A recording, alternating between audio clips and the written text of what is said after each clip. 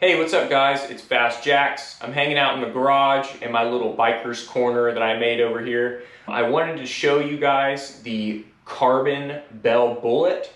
I've had it for almost six months now. Bell was nice enough to hook me up with it when it first released. I love the helmet. Carbon and light helmets are important for me because I have some uh, neck issues from previous accidents in the past. So having a light, comfortable helmet is very important to me. And I know in the price range of the Bell Bullitt, you're looking at retail of $600. You know, it's a hefty price to pay for a helmet, and it's definitely a hefty price to pay for a helmet that you haven't really seen or got a full breakdown on. So I'm gonna take the time to show you guys the Carbon Bell Bullitt and take the time to tell you what I think about it and tell you what it comes with. So here we go, we'll hop right in. Um, the first thing that I have to say about Bell that I find to be a little impressive, they even do it on some of their uh, less expensive helmets, but is the bag.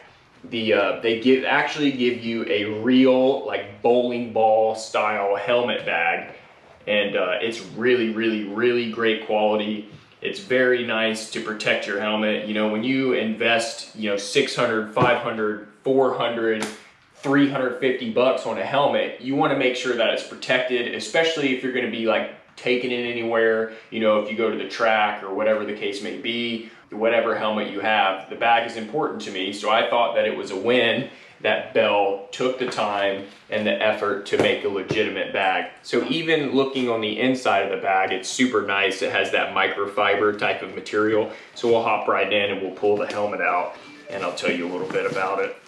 All right, so we'll pull it out and I'll show you guys the helmet.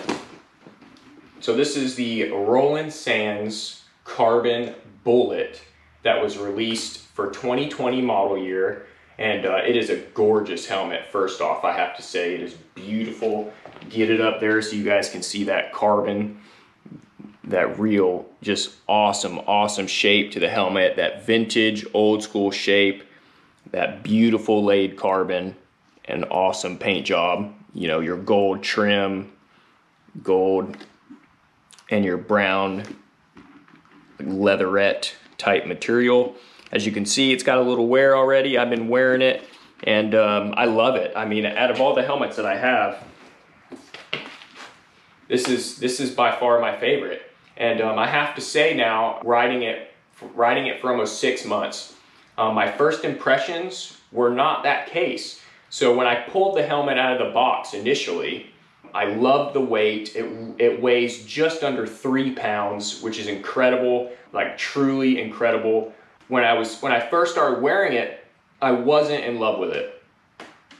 You know, I thought it was a little noisy, fit wasn't the greatest, but I later realized that the helmet was being noisy because of the positioning of the fairing on my motorcycle. So once I, I rocked my fairing a little further forward, kind of eliminated some of that some of that buffeting from my fairing, it eliminated almost all of that extra noise that I was getting that I thought was the helmet. So I blamed the helmet and it wasn't the helmet at all. Um, now it's super quiet, it's great, and, um, and it fits well. Um, so I have to say, you know, it comes with your standard cheek pads. I have them around here somewhere. Okay, so it comes with, uh, with some 30 millimeter cheek pads, which is awesome. You can change your cheek pads. They have a ton of different sizes. So it came with these uh, 30 millimeter cheek pads. Um, I'm a thin guy, you know, and uh, so the helmet was a little, you know, a little loose around my face and that was some of the comfort issues that I had in the beginning as well.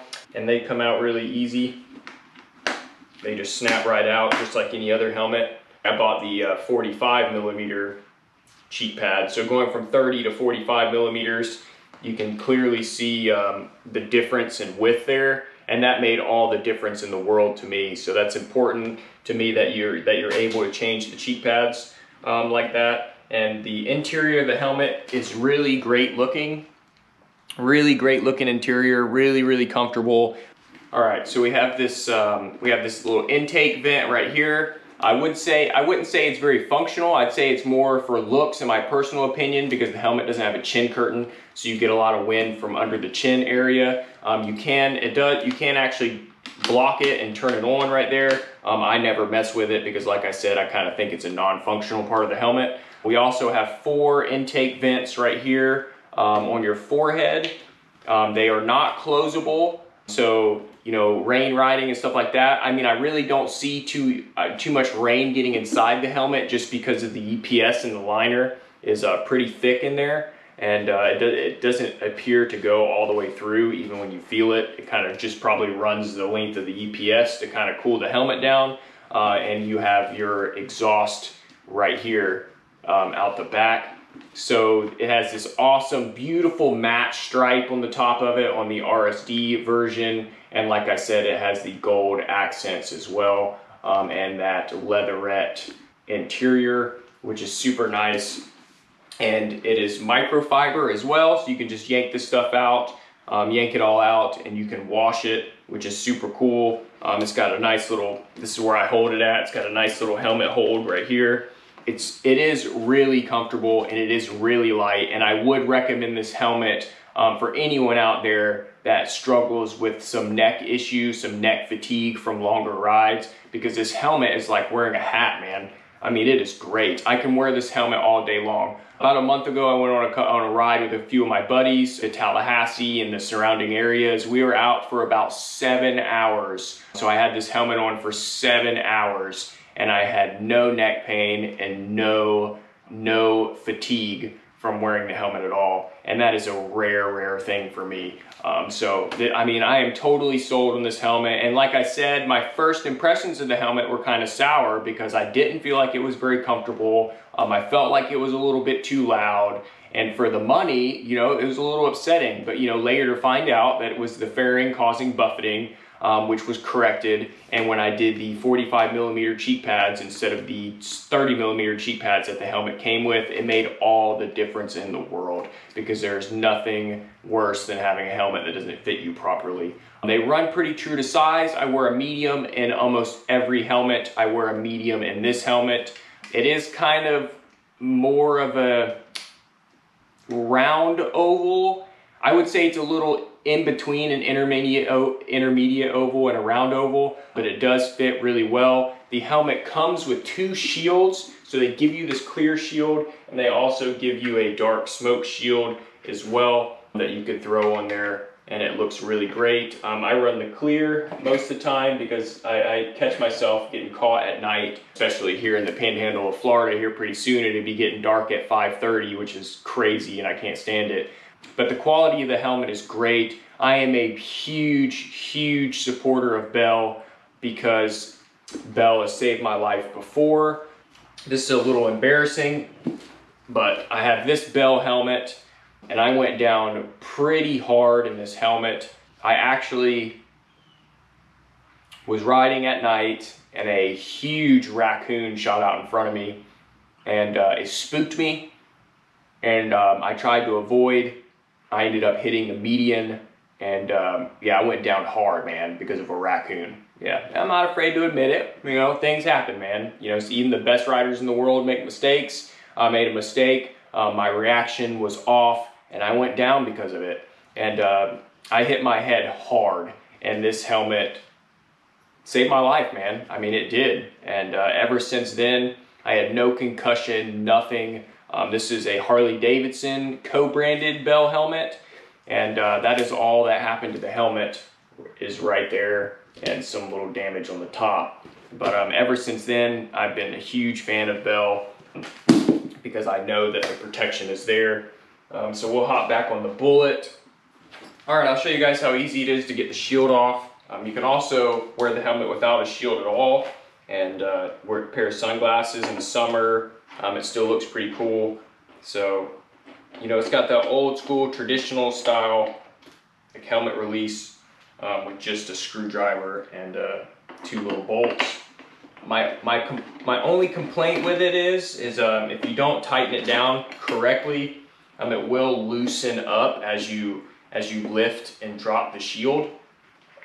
It'll kind of loosen up so just, you know, make sure that you continue to check those and make sure they're tight. It does have a little magnet right here on the side that keeps your, um, your visor down.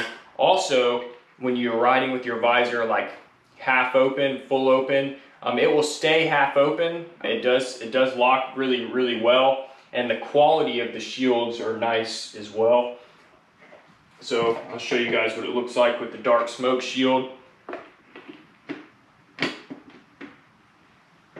I mean, it is really, really good looking with the dark shield on there. I mean, what a killer helmet. I mean, what a beautiful helmet. I cannot stress that enough, how much uh, Bell has nailed the, uh, the looks of these, of these Bullitt helmets. So we'll lose that shield. Throw that behind me. And then, yeah, super good. I mean, I can't, I can't really stress enough how light this helmet is. Every time I get somebody to pick it up, it blows their minds and it fits really, really well. And uh, it has a nice, nice gasket. You know, it's not that like really junk, like rubber gasket that you see on a lot of helmets. It's actually a quality, kind of like composite feeling uh, gasket. It's a little tough. It's not like your traditional uh, rubber gasket. We also have this little leatherette piece right here for the shield. And um, these are your little mechanisms on the side. Now the helmet comes in three sizes. It's got three shell sizes. It has your antibacterial washable liner like most helmets do nowadays. And I would highly recommend this helmet.